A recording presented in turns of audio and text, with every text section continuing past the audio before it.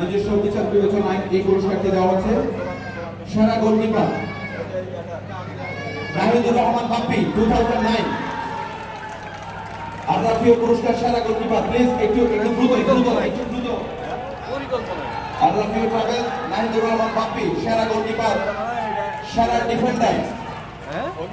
এবার মাসুদ করিম team ninety